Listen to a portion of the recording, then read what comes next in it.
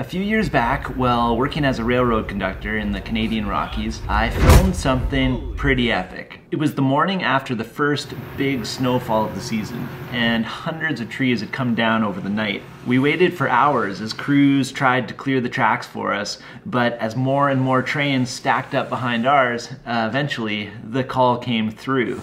Just go. It was a wild trip. So naturally, I filmed it. And when I uploaded the video to YouTube to share with a few friends, the wild ride continued.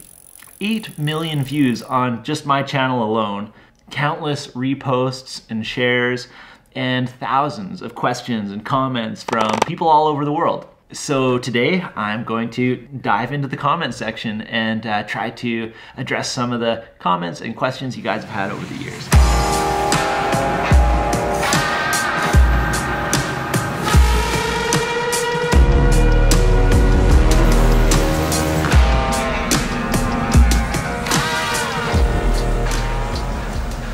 Live Reeater zero zero. Uh, excellent name.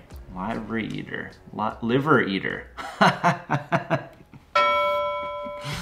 liver Eater zero zero. Is this the Liver King? Mostly impressed with the windshield wipers holding up to the abuse. Uh, yeah, you're not alone. A lot of people got a kick out of those windshield wipers. And um, I'll say that I do recall wishing sometimes when it was really raining or snowing that we had you know, better windshield wipers. But there's no denying that they did stand up pretty well to all the uh, abuse that day. Little known fact, the windshield wipers on the front of the locomotive are powered by air. Mums Mushrooms Jody Foster says, uh, I'm wondering if that was a regular train or one specially intended to clear the track. Um, it was not a snowplow. A bunch of people um, kind of thought that. It was actually a string of empty grain cars, uh, like a two mile long train with a regular locomotive on the front. Just the regular cow catcher and the front of the locomotive is what was um, smashing through the snow and trees. Sci-Fi Guy says, at 137 it sounded like Sloth from The Goonies. Hi, sir. My name's Lawrence. So sometimes people call me Chunk.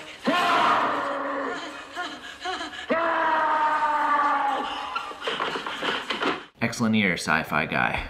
Maybe it was. Stephen Wrigley says there only has to be leaves on the line in the UK and all trains are cancelled. yeah, a lot of European comments, that Germany, the UK, saying that that's the case. I guess the thing in Canada is it's just such a big country and it's forest and mountains and wild stuff and you just can't keep uh, nature clean. These trains are heavy and there's not much that's gonna take them off the tracks. Jim Ritzheimer says, how in the world could somebody give this a thumbs down? Jim, I could not agree more with you. Thanks for the comment. Charles Lee says, Are you supposed to plow into fallen trees like that? Wouldn't that damage the locomotive, like windshield wipers, review mirrors, or even derail the train? Uh, you bet, Charles Lee. There's all kinds of things that can go wrong. But uh, we weren't going rogue here. Yeah, you really can't go rogue on the railroad. You can only uh, follow the rules. We were under direction to give her, and uh, give her we did. Kevin Otero says, you really gotta keep your eyes open, Jake. uh, frig. I like this comment, Kevin. It uh, brings me back to this experience. gotta keep your eyes open, Jake. And I will admit that I did close my eyes for a bunch of the trees, especially in the beginning. And I think I even hid under the desk for a couple. Uh, the Symbol Project. Total axles, dot, dot, dot. Every foamer watching is still waiting for that count. Temperature minus 1 C. Total axles. I appreciate you, Symbol Project. I, it was a silly joke, but I'm glad you are amused by it. Experimental Fun I gotta check this channel, it's kind of a cool name.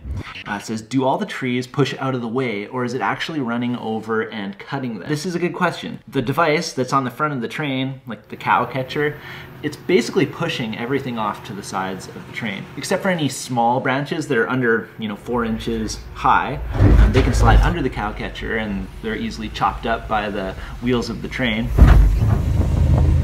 Penday97 says, I would think with all of the debris on the track, they would be required to run at restricted speed.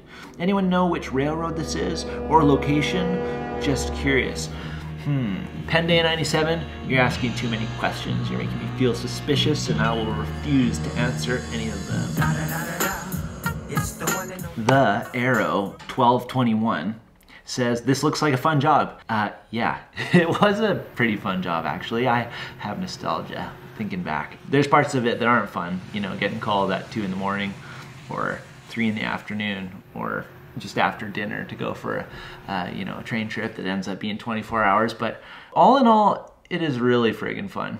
Carson T says, there's no collateral damage in doing this to hoses, lights, handrails, paint, wipers. Uh, yeah, there, there was a bit of damage. Uh, luckily, not too much, but uh, cow catcher was bent, the handrails smashed out a headlight and the cages around the headlight. But all in all, very little damage for how many trees we smashed. Holy. Anton Stapura says, How do I get this job? Um, just apply. Send a resume in, Anton. Uh, tell him Jake sent you. Anyway, I think uh, I'll, I'll, cut it off here, but um, I have really enjoyed seeing all these comments rolling in every day. I get a kick out of reading them, and yeah, thanks a lot. Most of the videos I'm gonna put out on this channel aren't gonna be about railroading. They're gonna be about DIY building and remote freelancing and uh, the adventures that Emma and I are getting up to. But I am gonna put a couple more railroad stories up here uh, in the next month or so. That's it for this one. Hope you enjoyed this, and uh, take care.